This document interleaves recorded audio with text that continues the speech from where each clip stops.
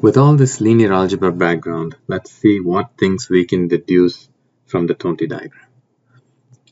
So recall that the Tonti diagram has the joint displacements u, the member changes in length delta, the member internal forces F, and the joint loads P, interconnected like this. So delta equals B times U F equals E times delta and B transpose F equals P. And then the stiffness matrix K equals B transpose dB.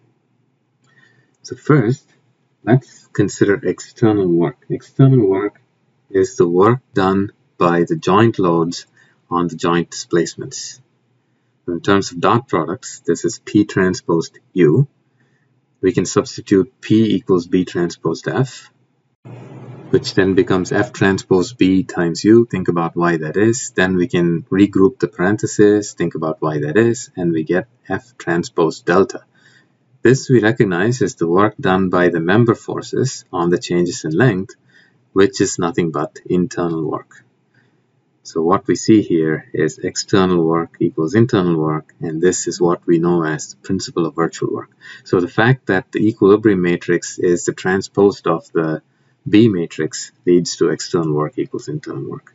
The next fact is that the stiffness matrix is symmetric. So K equals B transpose dB. Let's do K transposed. It's B transpose dB, the quantity transposed. That's B transpose E transpose B. And that's equal to B transposed E times B, which is nothing but K. So K transposed equals K, so K is symmetric. And think about why some of these intermediate steps are true.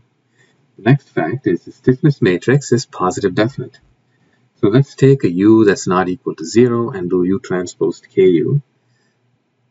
That's equal to u transpose b transpose db times u. That's bu, the whole transpose d times bu. Again, why is that? We'll see later that bu is not equal to 0.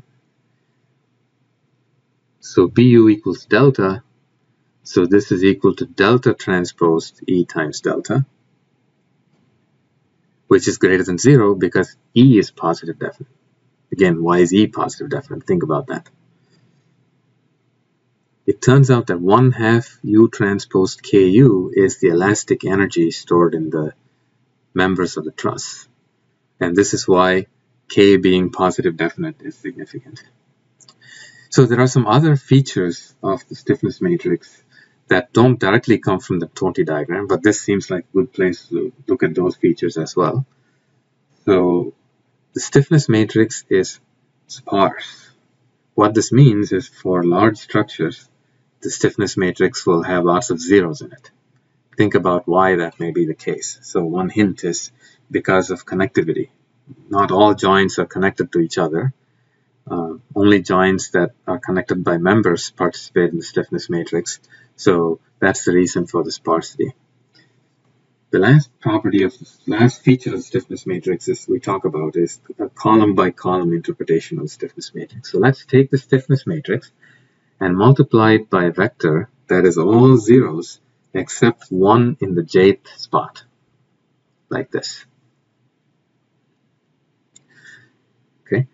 So if we multiply this vector by the stiffness matrix, basically it pulls out the kth column of the stiffness matrix.